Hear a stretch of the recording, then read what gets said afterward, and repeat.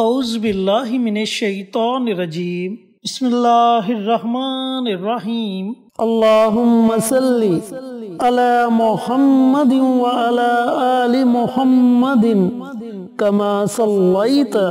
अला इब्राहीम व अला मजीद अल्लाहुम्म बारिक अला मुहम्मदिन व अला आलि मुहम्मदिन कमा बारकत अला इब्राहीम व अला आलि इब्राहीम इन्नका हमीदुम मजीद आसिफ इस्लामिक टीवी के प्यारे दोस्तों अस्सलामुअलैकुम वरहमतुल्लाहि वबरकातुहू दोस्तों, भाइयों और बहनों, जैसा कि आप जानते हैं कि जलहज का मुबारक महीना जारी और सारी है और ये महीना बड़ी फजीलत वाला, बड़ी बरकत वाला। और इस महीने का पहला अशरा, जिसकी कसम अल्लाह रबुल इज़्ज़त ने कुरान पाक की सूरत अल फजर में खाई के पहले अशरे की रातें बड़ी बरकत वाली हैं, बड़ी अजमत वाली हैं। तो दोस्तों, भाइयों और बहनों, जितना मुबारक ये अशरा है, अगर इस अशरे में जुमे का दिन आ जाए तो सोचे कि वो दिन कितनी बरकत वाला होगा। जिस दिन को मेरे और आपके प्यारे आका सरवरी कायनात हज़रत मोहम्मद मुस्तफ़ा सल्लल्लाहु अलैहि वसल्लम ने तमाम दिनों का सरदार दिन कहा। ये वो मुबारक दिन है जिस दिन अल्लाह रब्बुल इज़्ज़त अपने बंदे की दुआओं को कबूल करता है। आप सल्लल्लाहु अलैहि वसल्लम ने फरमाया कि इस दिन अल्लाह रब्बुल इज़्ज़त ने एक ऐसी पोशीदा गड़ी रख दी है जिस गड़ी में अल्लाह ताला की बारगाह में जो भी दुआ मांगी जाए, अल्लाह ताला अपने बंदे की दुआओं को सुनता है और कबूल करता है। और बहुत से उलमा कराम, बुजुर्गान दीन मुहदसिन का कहना है कि वो घड़ी असर के बाद की घड़ी है। तो दोस्तों, भाइयों और बहनों, आज मैं आपके साथ पाँच ऐसे अमल शेयर करूँगा जिन्हें आपने माह जलहज के पहले जुमा को करना है। चैनल पर नए आने वाले दोस्तों से गुजारिश है कि चैनल को सब्सक्राइब करके साथ घंटी के बटन को दबाकर ऑल नोटिफिकेशन पर क्लिक कर दे ताकि मेरी हर नई आने वाली वीडियोस की अपडेट आप तक बर वक्त पहुँचती रहे जजाकल्ला तो दोस्तों, भाइयों और बहनों, ये पाँच अमल करने के बाद आप अल्लाह ताला की बारगाह में जो भी दुआ मांगोगे, अल्लाह ताला अपनी बारगाह में आपकी दुआ को ज़रूर सुनेगा और कबूल फरमाएगा।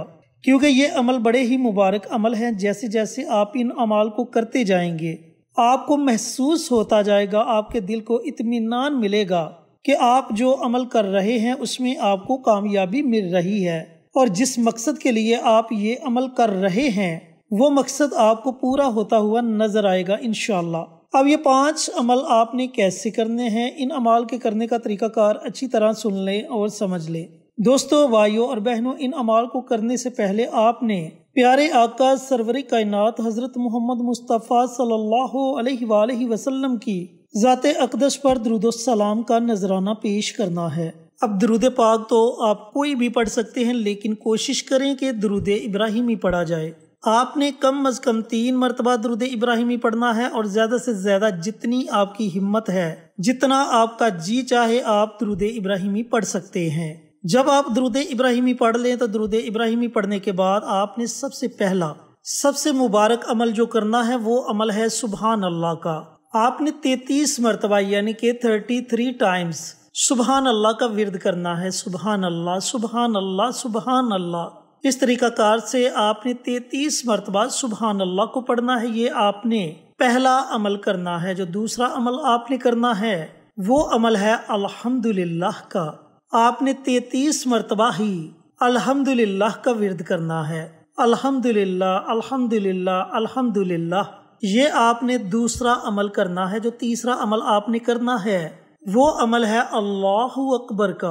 आपने चौंतीस मरतबा अल्लाह अकबर का विरद करना है। यानी कि थर्टी फोर टाइम्स आपने अल्लाह अकबर का विरद करना है। अल्लाह अकबर अल्लाह अकबर। इस तरीकाकार से आपने अल्लाह अकबर का विरद करना है। ये आपने तीसरा अमल करना है। जो चौथा अमल आपने करना है, वो अमल है लाहौलावत बिल्लाह का। इन कलमात के बारे में नबी करीम सल्लल्लाहु अलैहि वसल्लम का फरमाने आली शान है कि ये कलमात जन्नत के खजानों में से एक खजाना है। तो दोस्तों, भाइयों और बहनों, आपने इक्कीस मरतबा लाहौलावत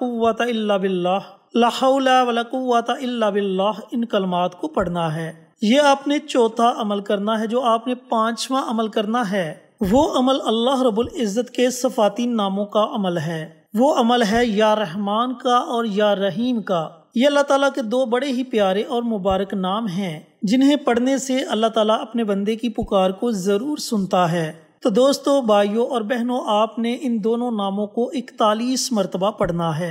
यानी कि फोर्टी वन टाइम्स आपने अल्लाह रबुल इज़्ज़त के ये दो नाम, रहमान और रहीम, इन दो नामों को पढ़ना है, लेकिन याद रहे कि आपने अल्लाह ताला के इन दोनों नामों को इकट्ठा पढ़कर एक तस्वर करना है। या रहमान, या रहीम, ये एक हो गया। या रहमान, या रहीम, ये दो हो गए। इस तरीकाकार से आपने इकतालीस मरतबा अल्लाह ताला के इन दोनों नामों को पढ़ना है। दोस्तों, जब आप ये पाँचों अमल कर लें, तैतीस मरतबा सुबहान अल्लाह का विरद कर लें, तैतीस मरतबा अल्हम्दुलिल्लाह का विरद कर लें, चौंतीस मरतबा अल्लाह अकबर का विरद कर लें, इक्कीस मरतबा। लाकुवता इन कलमात को पढ़ लें। और इकतालीस मरतबा, या रहमान और या रहीम का विरद कर लें। तो आखिर में आपने फिर नबी करीम सल्लल्लाहु अलैहि वसल्लम की ज़ात अकदस पर सलाम का नजराना पेश करना है और उसके बाद आपका जो भी मकसद है, आपकी जो भी हाजत है उसके लिए अल्लाह रब्बुल इज़्ज़त की बारगाह में खसूसी दुआ मांगे कि या परवरदिगार, ये जो अमल मैंने किया, ये जो वजीफ़ा मैंने पढ़ा, अपनी फला फला हाजत के लिए पढ़ा ए मेरे मालिक तो उसमें मुझे कामयाबी अता फरमा। इस तरह आपने अपने अल्फाज में अल्लाह ताला की बारगाह में दुआ मांगनी है, यकीन जाने कि आपकी दुआ सातों आसमानों को चीरती हुई अर्श तक पहुँच जाएगी और अल्लाह रब्बुल इज़्ज़त अपनी बारगाह में आपकी दुआ को कबूल मंजूर फरमा लेगा। दोस्तों, भाइयों और बहनों, वैसे तो आप माह जलहज के पहले जुमा को किसी भी वक्त ये अमल ये वजीफा पढ़ सकते हैं। लेकिन अगर आप ये अमल ये वजीफा नमाज़ असर के बाद से लेकर अजान मगरिब से पहले पहले इस दरमियानी वक्त में पढ़ते हैं तो इस वजीफे की ताकत और ज़्यादा बढ़ जाएगी। ये वजीफा आपको दस गुना ज़्यादा फ़ायदा देगा। अल्लाह ताला ने ये मौका आपको अता किया है। माह जलहज का पहला मुबारक अशरा है और ये माह जलहज का पहला मुबारक जुमा है, जो कि माह जलहज के पहले मुबारक अशरे में है। तो यकीन जाने के जब आप इस जुमा ये अमल, ये वजीफा पढ़ेंगे तो इसकी ताकत देखकर आप खुद हैरान रह जाएँगे। अल्लाह ताला की रहमत आप पर ऐसे मूसलाधार बारिश की तरह बरसेगी कि आप देखकर सजदा रेज हो जाएँगे। दोस्तों, भाइयों और बहनों, बड़ा ही मुबारक अमल है। इस अमल से ज़रूर फ़ायदा उठाएँ। अल्लाह ताला से दुआ गो हूँ कि अल्लाह पाक माह जलहज के पहले जुमा के दिन। ये मुबारक अमल, ये मुबारक वजीफ़ा मुझे भी, मेरे तमाम भाइयों को, मेरी तमाम बहनों को पढ़ने की तोफ़ी कता फरमाए और सदका जारिया समझ कर दूसरों के साथ शेयर करने की तोफ़ी कता फरमाए ताकि आपके साथ साथ दूसरे लोगों का भी फ़ायदा हो सके। प्यारे आका की प्यारी प्यारी सुन्नतों पर अमल करने की तोफ़ी कता फरमाए, पाँच वक़्त का नमाजी बनाए।